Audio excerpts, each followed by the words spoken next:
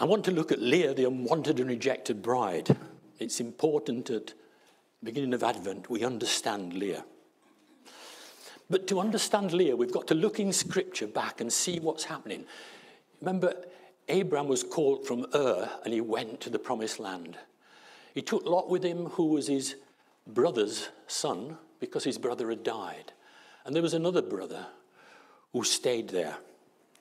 And he finished up having uh, two grandchildren, Rebecca and Laban.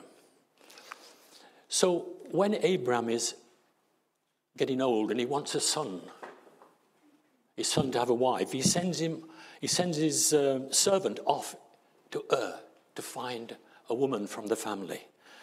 And the servant is a godly person, and they say, Please, when I go to that place and I stay at the well, please give me some, give me some signs and let me see a member of the family. And that happens. Rebecca comes along, fulfills all the requirements, and she takes him back to the family. And the servant tells the family, I've come because my, my master sent me, and God has told me that if one of your daughters will go back with me, then they can be his wife. But you must allow them to go. So he talks to Bethu, uh, one of the daughter's fathers, and appears and appears to leave the decision to his wife and his son. His son is Laban, and Laban has been impressed by the many precious gifts the servant has brought to him. Laban says to the servant, Here she is. Take her to be our master's son's wife, as the Lord has directed. He's been very polite with words but it's a delaying tactic. You see, the problem with the family has been generational sin. They cheat each other. They are very uh, manipulative. So the next day, the next morning, the servant prepares to depart. It's less than 24 hours since he arrived. The mother and brother seek to delay the departure. Stay for another 20 days or a few weeks. And the result is they can't get an agreement, so they said, let's ask Rebecca. Rebecca is the one who's going to go to be the bride. And she agrees to immediately leave. I wonder why. She's in a dysfunctional family. She's looking for a way out. Her mother has taught her, she's learnt the family traits. Her brother desires wealth and prestige, and he's got this family trait of deceit and cheating. So she goes back and she marries Isaac. Isaac is the second of the patriarchs. But she's barren. She's barren, she doesn't what to do. So Isaac comes and prays for her and she conceives. Isaac is, knows how to talk to God. She's uncomfortable in the pregnancy and she asks the Lord, God, what is wrong with me? And the Lord says to her, Two nations are in your womb. Two people from within you will be separated. One will be the stronger than the other, and the older will serve the younger. The firstborn is called Esau. It means red because he's got red hair on his body. The second is called Jacob because he's born holding his brother's heel. Jacob means grasping the heel, which in their culture means deceives. And this is again is the family trait. Esau is a man's man. He spends his time with his father hunting. He is his father's favorite. Jacob spends time in the camp, He's sensitive child. And he spends the time with the women in the camp and with his mother Rachel. And he's his mother's favorite. The problem here, we've got favorites. Do you have favorites? Because James has told us it's forgiven. Favorites cause us sin. Jesus said, We love one another we love the people in the community. We love everybody. But when we have favorites, it causes division. And here we start seeing a division between the husband and the wife, the eldest son and the second son. One day, the father thinks he's going to die. Isaac thinks I'm going to die, and he wants to give his best blessing to Esau. God has told Rebekah that Jacob will be the leader of the tribe when, Jason, when Isaac passes on. She hears Isaac, what Isaac's about to do. And instead of trusting God, she seeks to make it happen. Have you ever done that? You know what God wants, but you seek to make it happen faster than it should do. You try to manipulate God. And this is what Rachel, Rebecca is trying to do manipulate God's situation because she knows what he wants. Esau goes hunting to fulfill his father's desire. He wants to have broth of wild game before imparting the blessing. So Rebecca gets Jacob and says, This is what we're going to do. You're going to get that blessing. Get me the best two young goats. I know how to make tasty game out of two goats. So Jacob says, What about his hairy body? Don't worry about that. We'll use the hair from the goat on your hands and your neck. So your father will be deceived. See, Isaac is nearly blind, so it's easy for him to be deceived. And then she took Esau's best clothes because it smelt of him, and Jacob put them on.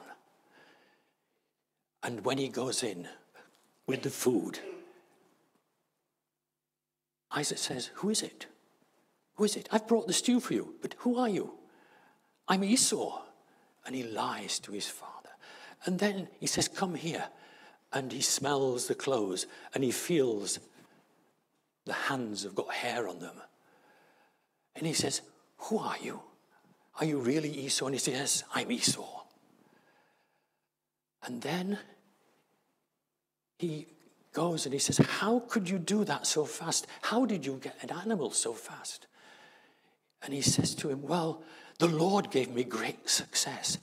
And then that is, he's just blaspheming God. He's using God's name in vain and saying God has given him this game. And finally, before eating the meal, his father again says, Who are you? He says, I'm Esau.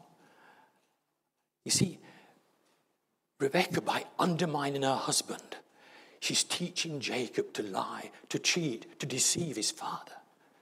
The head, the elder of the family. You know, do we do that with our children? The way we act, the way we do things.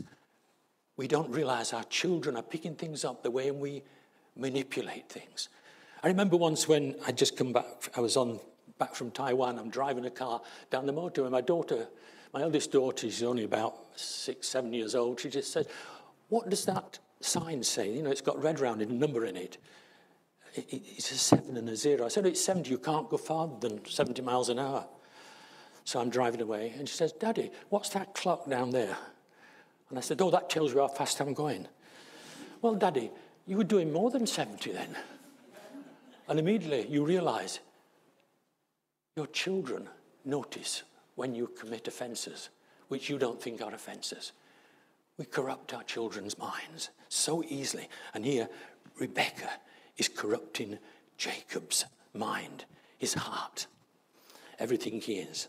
But he succeeds in deceiving his father and receives the blessing.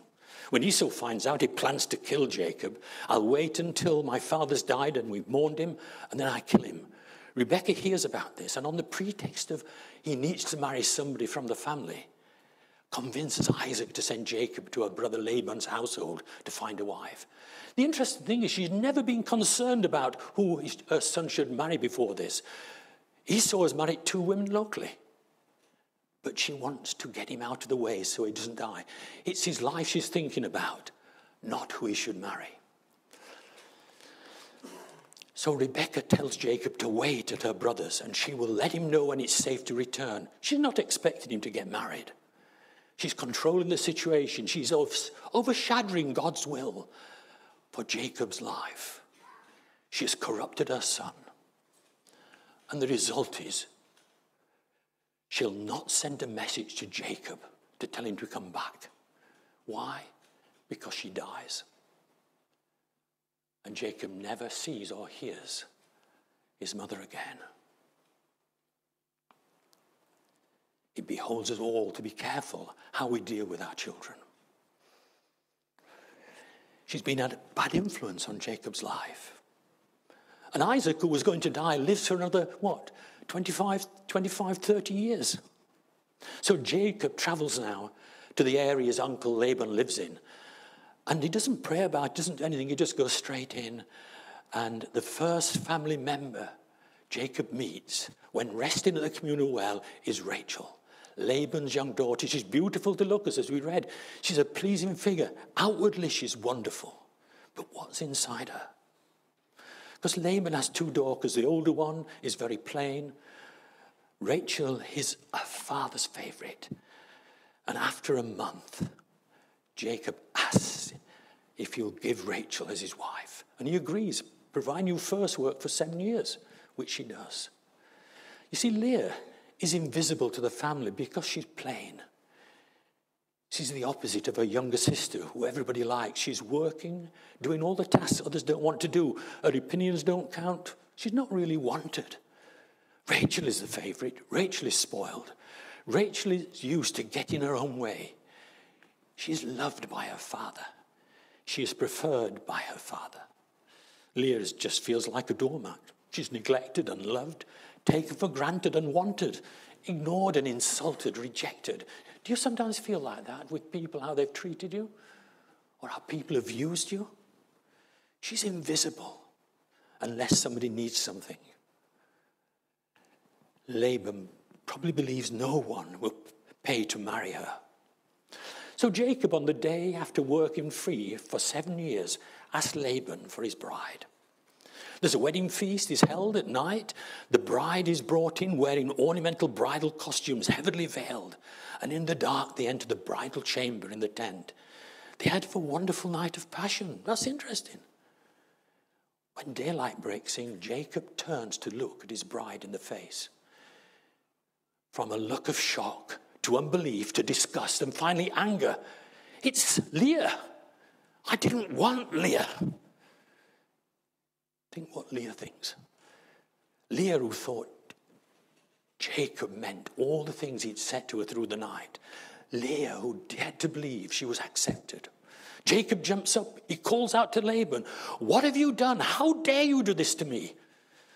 Poor Leah's lying there as the argument ranges around her in the tent, rejected once again. Nobody is aware of her pain that they are causing to her heart. She was invisible to them. She knew what her father had done. And the final agreement is that if Jacob completes this week, the bridal week with Leah, then he can have Rachel for a bridal week and have her for good, as long as he works another seven years for Rachel. You know, Rachel, Leah must have found the next seven days heartbreaking. Can you imagine? She's been rejected. Have you been rejected? What a pain in her heart. She thought she was loved for the first time. And now she's just rejected.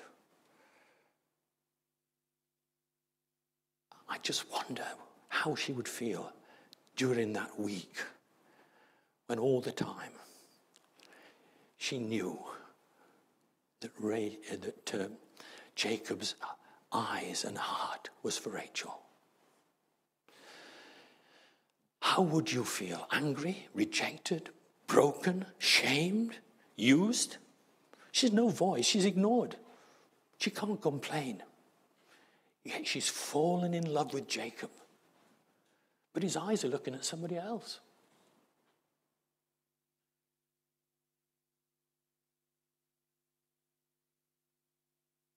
And then after seven days, she'll be cast aside. And her access to Jacob will be controlled by Rachel. Imagine that situation. You think you've got problems? Here is a woman who's totally smashed to pieces. And it says that when the Lord saw Leah was not loved, he caused her to conceive. She has a boy, Jacob, the firstborn, and calls him Reuben which means son. And it also sounds like, For you see my misery, referring to God. She believes it's because God has seen her misery. He has given her a son. It's her husband's first son. Surely her husband will love her. Surely he'll accept her now. But no. And she feels unwanted and rejected. She has a second son named Simeon, which means one who hears she believes the Lord has heard that she is not loved. She, gave, he's given this one to me too. Surely my husband will show me affection. No. She's still rejected. She's still on the shelf. She conceives a son, again, another son, and calls him Levi, which means attached. She hopes her husband will become attached to her because she's borne him three sons. Surely he will like me now. No, she's rejected. Each time she gives birth, she thinks she will change her husband's heart.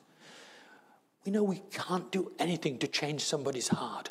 Only God's Holy Spirit can change it. Only God's Holy Spirit can change my heart, can change your heart. She conceives a fourth time another son and calls him Judah, which comes from the word praise. We realize now Leah has turned a corner. She's no longer seeking to look for her husband's acceptances and love. She's looking to God and praising Him. She testifies, she says, This time I will praise the Lord. The Father God now comes first in her heart. Her attitude has changed. She wants to please God. What about Rachel? Well, although she's loved and adored by Jacob, she's barren. She sees her sister, who she's isolated from Jacob's affection and love, as four sons. She demands her husband give her children. This is probably the first time she hasn't got her own way, even though she demands it. For the first time, we see Jacob being angry with Rachel. How do you fulfill a seemingly impossible demand made by the one you love? Am I God? He has kept you from having children. It's not me. I've done everything. So she gives her husband a servant to get children. The servant bears two sons. The first is Dan, which means he's vindicating me because she believes God has vindicated her. She doesn't talk to him. He has listened to her and given her a son. The second is called Naphtali, which means my struggle. Why did she choose this name? Because, she says, I have had a great struggle with my sister and I've won. With her, it's all a game. Who's going to have a son? Who's going to produce the heir. She must be greater than her sister in everything. Not only she put her down, but the one thing she can't match is the sons that Leah is bearing. She's got this elder brother attitude, which you find in the prodigal son. Leah was not conceived from time, give Jacob her servant, and she bears two sons. The first is called Gad, which means good fortune. She's still thinking about God and what God is doing for her. She declares how fortunate she is to have another son. And the second son is called Asher, which means happy, because she's so happy. She knows the women around her will call her happy. Since Leah is looking to God for her affirmation, she has this peace, this joy, this happiness. Do we need to stop looking at what we want or what we need and start looking at what God has prepared for us? because we miss what God is preparing for us and how He wants to use us because we are trying to use God. And now we have an interesting situation. Reuben, the eldest, goes out hunting. It's Leah's eldest, and he finds some mandrake plants. They're very special, they're a delicacy to eat. So he gives them to his mother to eat as a gift. Rachel sees them and asks for some. Leah says to her, You've taken my husband and now you want my son's gift to me? Rachel tells Leah, If you give me the mandrake plants, you can see with Jacob tonight. Wow, what an insult to her sister. Can you imagine somebody doing that to you? Rachel is ruthless at getting her own way. What a put down. You know how humiliating. Leah must buy a night with her husband using her son's gifts. We must ask how much does Rachel really love Jacob? Is he just someone she loves to control? Is he a status symbol? Is he somebody who worships her and she loves to be worshipped? Leah is oblivious to this. Leah just loves Jacob. Leah even goes to tell Jacob of the deal as he returns from work. She's so excited I've bought you for tonight. Her love is oblivious to the humiliation she's suffering. The pain may come later if she's rejected and unloved yet again. God sees what's happening. We've forgot our Father God sees everything, including the thoughts of our minds and the intents of our hearts. He sees everything people do to you. He knows and he wants to heal. He wants to put his oil upon it. But we must first come to him and look to him, not at the problem, not at the pain. God listens to Leah. She becomes pregnant with a fifth son and calls him Issachar, which is reward. Because God has rewarded me, she's still in God's care. She knows she belongs to God. She gave birth to a sixth son, Zebulun, because she says, God has presented me with a precious gift. Everything is about God now. It's not about her husband. But this time she thinks maybe he'll treat me with honor. So she calls Zebulun. Zebulun means honor. Now God remembers Rachel, and she gives birth to a son. God has taken away her disgrace, which, if you didn't bear children those days, you were disgraced. She names him Joseph, which means thank you, God? No, which means may he add. She makes a request, may the Lord add me another son. I want another son. So, what's the point of this historic story? God is at work in a dysfunctional family. He's working through them is trying to bring out his love and his grace within that family. But he's also blessing those who are rejected. God knows their hearts, he knows their weaknesses. So God instructs Jacob to go home, not Rebecca, she's dead. But before they go, Rachel shows her true colors. She steals her family idols. She, she's going back to where Abraham and Isaac are, and they worship the one true God. She wants to take idols back with her. She wants to bring something into the family which will cause the enemy to control them. And on the way home, it's wonderful because Jacob now is learning to walk with God more and more. And he makes peace and he's reconciled to his brother Esau. You know, Jesus probably was thinking about Esau and Jacob when he told the parable of the prodigal son. But on the way home, Rachel gives birth to her second son. Just before she dies in childbirth, she curses the child. She calls him Benoni, the trub, my trouble, the son of my trouble. But Jacob immediately jumps in and changes the name to Benjamin, son of my right hand she never sees Jacob's family home or meets her father in law. She's just buried by the roadside. Two women in Leah affected Leah. The one who affected her husband, Rebecca, has gone. It's as though God has said, That's enough, enough. And now Rachel is gone. And all we've got now is the two people God has been working on Jacob and Leah. So, what of Leah? She develops this relationship with Jacob. How do we know? How do we know that she started to develop a deep relationship with Jacob? Well, when she dies, it was Jacob who placed her in the true tomb containing Abraham and Isaac and their wives. And before Jacob died in Egypt, he gave instructions to her sons to bury me with Leah. Not bury me with Abraham or my father, but bury me with Leah. Something has changed. It takes him until he's in Egypt at the end of his life before he gets peace and he stops having favorite children. God vindicated Leah and used her she does not seem to have the trait of deceit and manipulation that the others have. Two of her sons became of great blessing one to Israel, Levi, from which we have Moses, Aaron, and the priesthood, and finally the great high priest. Leah was the one who started that line. The second is Judah. She started the line, the kingly line in Israel. King David was the first king of that line. Leah was the mother who gave birth to them.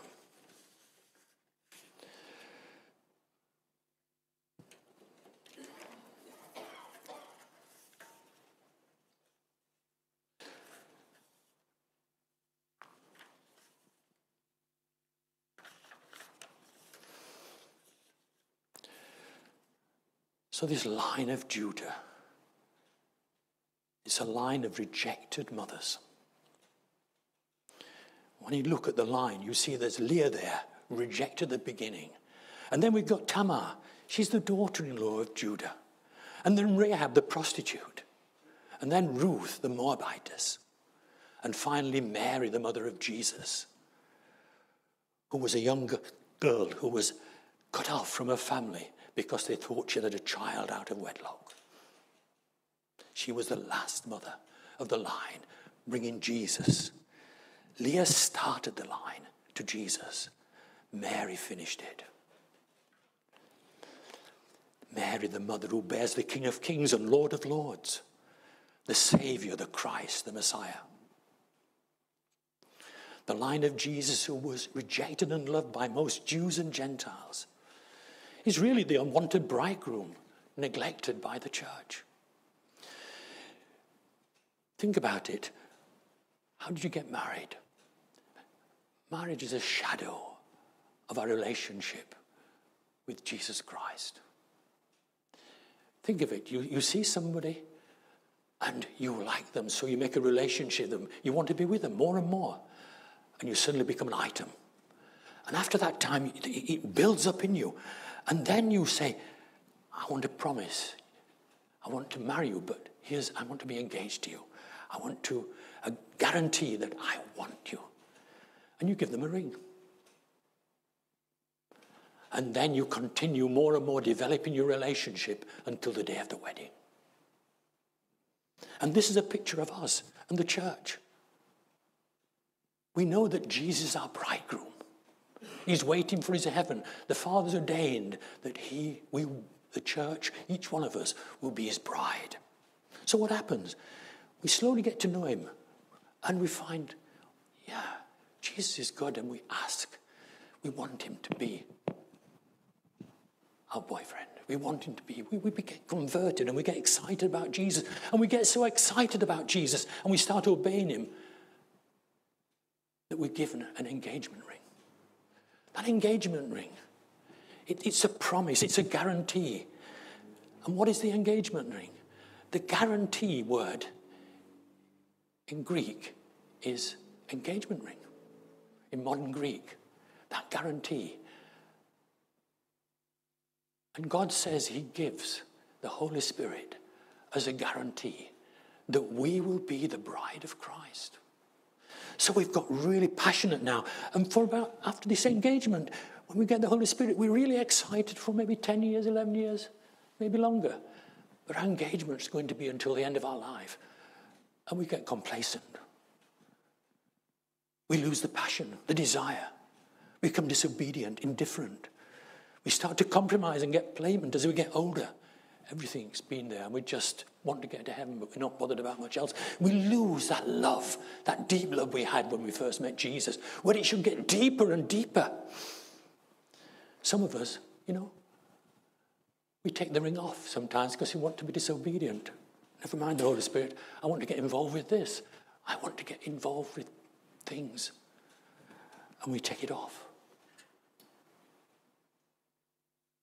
Whereabouts are you in this marriage? Are you walking along, getting deeper and deeper into Jesus? Or have you become complacent? I'm all right where I am. I'll manage till the end, don't worry.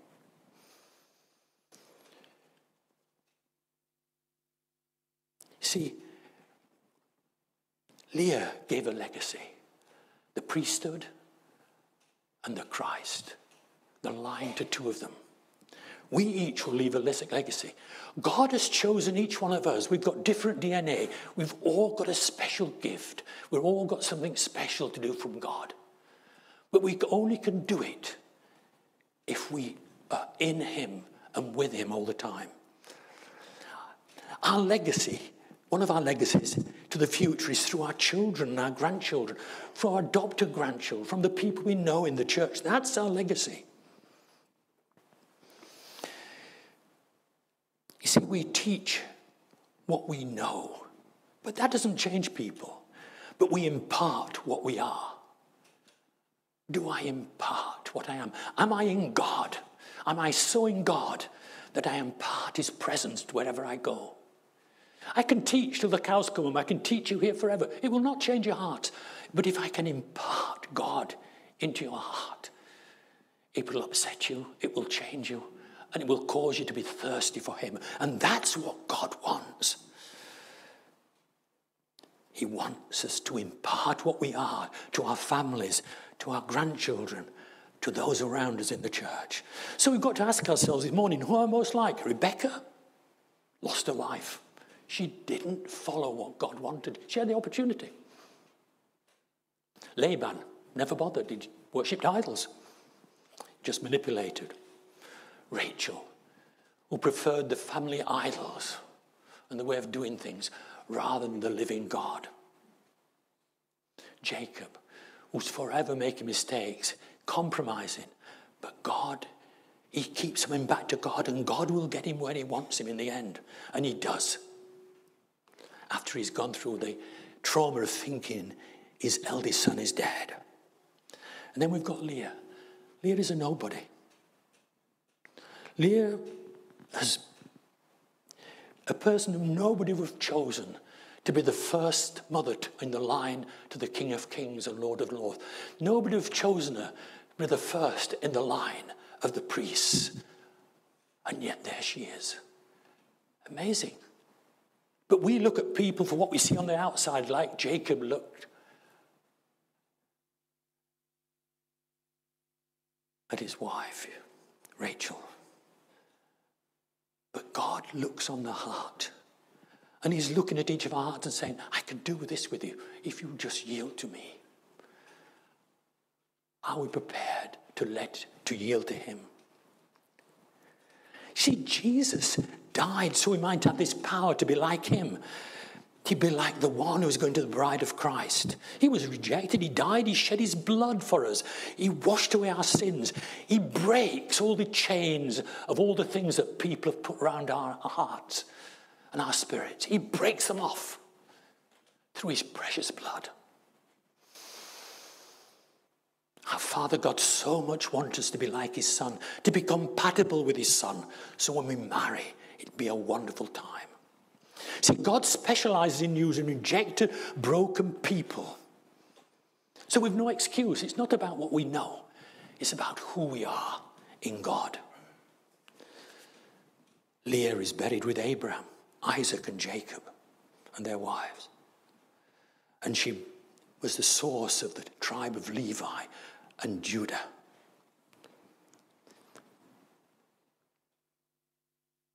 What is God wanting you to be in this life? What has God put you on this earth especially for? And are you prepared to embrace it? Because it means looking to Him and nobody else.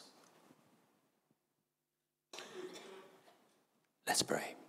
Father, we just ask that you search our hearts. Help us to so much want to be in you, that we do your will, that we fulfill your ministry within our lives, whether it's a small ministry or a big ministry. May we so yield to you and allow you to touch and break all the chains and ropes which have bound around us, what, what people have done to us. But not only that, to cleanse out all the sin within all our own lives, which have hindered us from seeing the wonder of who you are. Give us again that compassion.